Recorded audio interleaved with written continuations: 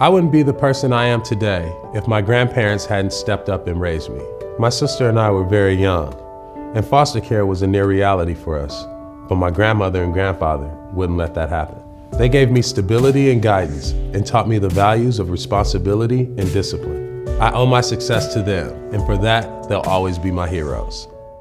Are you one of the thousands of caregivers who is raising a relative's child? Support is available.